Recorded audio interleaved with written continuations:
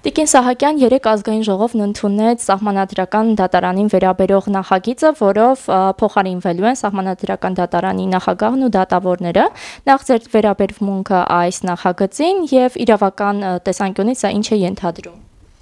Եթե կարճ արտահայտվեմ, շուրջ 2 տարի է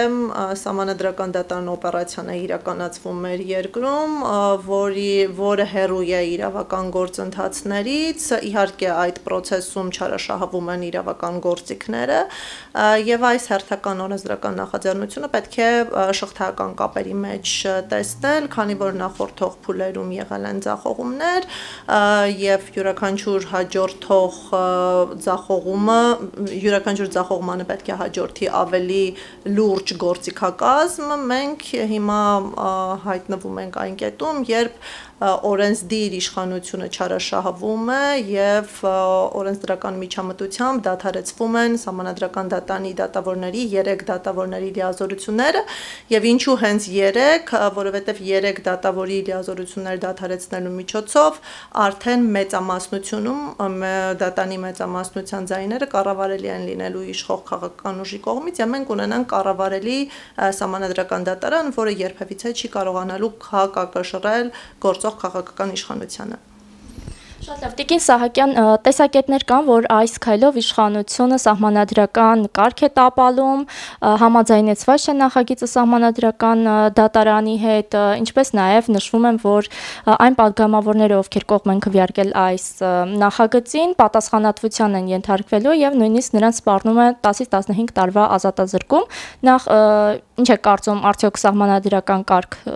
տապալվում է այս նախագծով թե ոչ, այս գործողություններով թե ոչ, եւ ինչ պատասխանատվության կարող են ենթարկվել այն անձինք, ովքեր անցկացրել են այս նախագիծը քաղաքական գործընթացներից զատ իրավական տեսանկյունից այս նախագիծը խիստ խոցելի է մի քանի պատճառներով նախ ընթացակարգային այս նախագծով ուղղակիորեն շրջանցվում է համանadrական դատարանը իսկ Հայաստանի Հանրապետության համանadrությունը նախատեսում է որ համանadrական փոփոխությունները դրանք լինեն հանրակրվեով թե ազգային ժողովի կողմից ընդունվող պարտադիր պետք է ուղարկվեն նախնական համանadrական վերահսկողության համանadrական հանրադրական դատարան։ Եվ այս առումով նաև Վենետիկի հանձնաժողովն է վերահաստատել այն մոտեցումը, որ Հայաստանի Հանրապետության սահմանադրությունը միանշանակ է իրավական որոշակիությանը բավարարում է եւ այստեղ ազգային ժողովի համար պարտականություն է սահմանադրական դատարան դիմելը։ Եվ միայն սահմանադրական դատանի եզրակացությունից հետո օրենսդիր մարմինը կարող էր իր իշխանությունը իրականացնել եւ երկրորդ ընթերցմամբ ընդունել այս օրենքը։ Եթե սահմանադրական դատարան չի ուղարկվում նախագիծը, ուղղակի ուղղակի այն քվեարկման ենթակա չէ։ Հիմա Հայաստանի Հանրապետության քրեական օրենսգիրքը ունի մի շարք հոդվածներ, իհարկե փաստական հանգամանքներին ծանոթանալուց հետո ես վստահ եմ, որ չենք բավարարվելու միայն երկու հոդվածների վկայակոչմամբ, բայց առնվազն կա իշխանությունը զավթել, որի տակ հասկացվում է նաև սահմանադրական դատանի լիազորություններին տիրանալը սահմանադրությամբ չնախատեսված եղանակով։ Ձևերից մեկը բռնությունն է, այլ ձև կարող է լինել սահմանադրությամբ չնախատեսված եղանակ, իսկ մենք հիմա տեսնում ենք, որ սահմանադրությամբ չնախատեսված եղանակով սահմանադրական դատարանին շրջանցելով հաստատում են մի օրենսդրական, հա, ակտ, որի ուժով դատավորի լիազորություններ են դադարեցվում եւ այնքան եղանակով, որբիսի տիրանան եւ իրենց դրածո անձանց միջոցով կարողանան փաստացի իրականացնել համանadrական դատանի լիազորությունները։ Քանի որ այս նախաձեռնությունը նաեւ հակասում է վաթարացնող օրենքի հետադարձ ուժի կիրառության սկզբունքին, դատավորների անփոփոխելիության եւ իրենց պաշտոնի երաշխիքներին, որոնք համանadrական երաշխիքներ են, դրանք նաեւ վտանգում են մեր երկրում իրավական պետությունը եւ այսպիսի ընթացակարգը նաեւ ըստ էության դադարեցնում է Հայաստանում իրավունքի գերակայությունը իսկ իրավական պետության ատրիբուտները ոչնչացնելը իր մեջ ունի նաեւ սահմանադրական կարգը տապալելու հանցագործության հատկանիշներ Եվ ըստ էության այո, մասնագետների մեծամասնությունը հենց քննարկումները ծավալում է այս հոդվածների շրջանակում, նախատեսվող սանկցիաները բավականին ծանր են, ընդ որում յուրաքանչյուր հանցագործություն ունի ինչպես համակատարողներ, այնպես էլ կարող է ունենալ այլ հանցակցության ձևով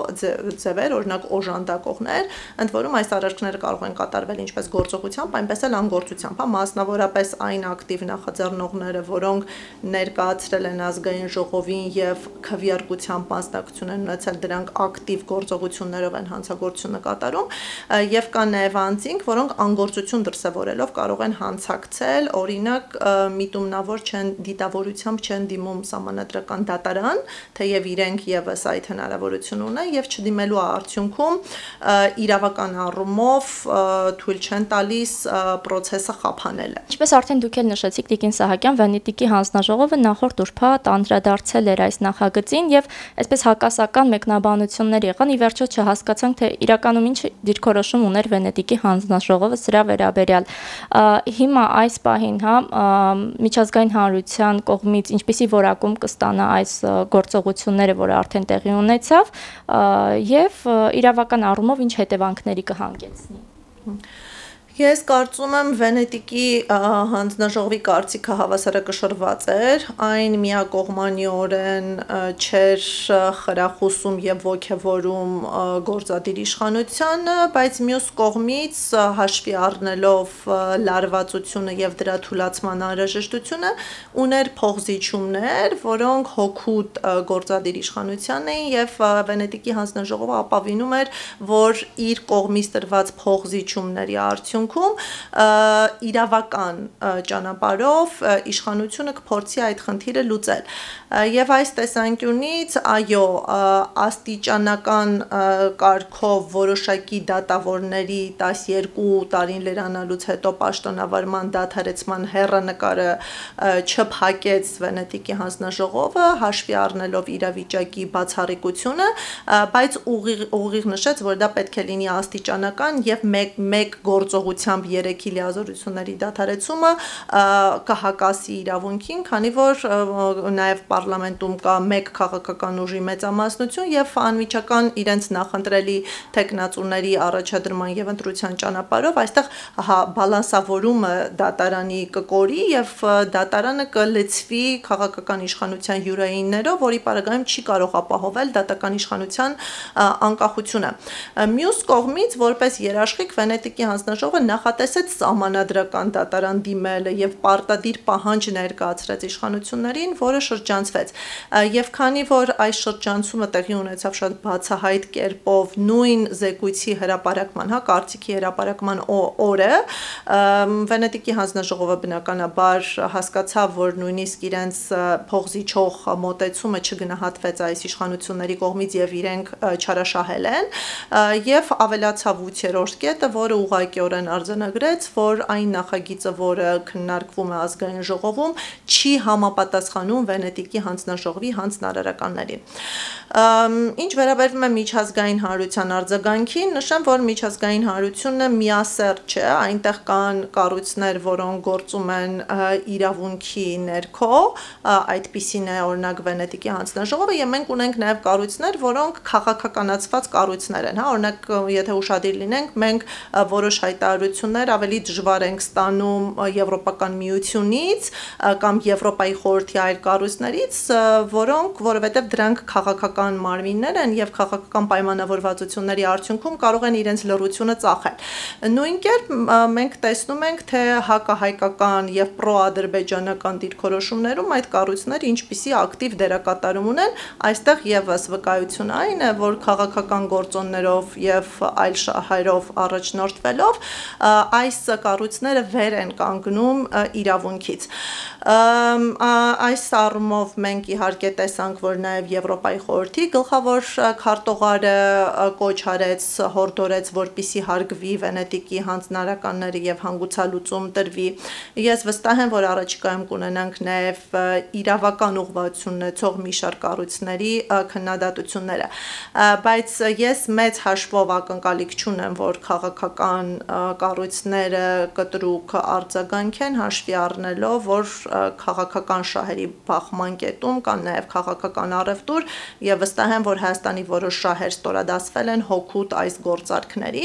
Ժամանակը կարծում եմ դրա վառ վկայությունը կլինի, բայց նաև ես կարծում եմ, որ իրավունքը շատ ուժեղ գործիք է։ Ըստ տեղեկությունների Իշխանությունը համաձայնության է եկել նախագահ Արմեն Սարգսյանի հետ, որ այսպես ասած դիրքորոշում չի հայտնելու նախագծի վերաբերյալ, չի ստորագրելու նախագիծը եւ այն վերադառնալու է ազգային ժողով եւ ստորագրվելու արդեն ազգային ժողովի նախագահ Արարատ Միրզոյանի կողմից,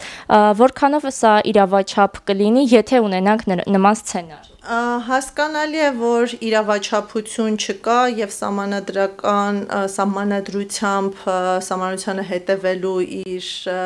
առաքելությունից հրաժարվում է հանրապետության նախագահը։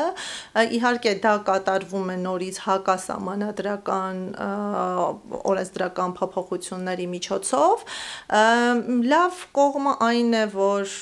Արմեն Սարգսյանը քաչ գիտակցելով ստորագրման հանցավոր բնույթ բնույթը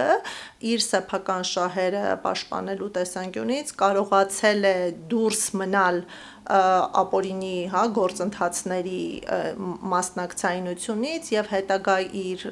ճակատագիրը չվտանգել, այսինքն շատ խելացի է, որ անձնական շահերի պաշտպանության տեսանկյունից նման անվտանգության բարձիկները տեղադրել մի բան, որը չեն գիտակցել եւ չեն իրականացրել իշխող խմբակցության բազմաթիվ падգամավորներ,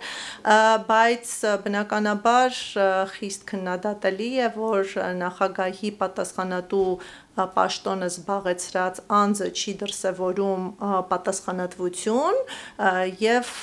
դրսևորում է անդեմ վարկագից եւ որպես ինստիտուտ հեղինակազրկվում է նախագահի դերը առհասարակ որպես սիմվոլ եւ որպես սահմանադրության երաշխավոր։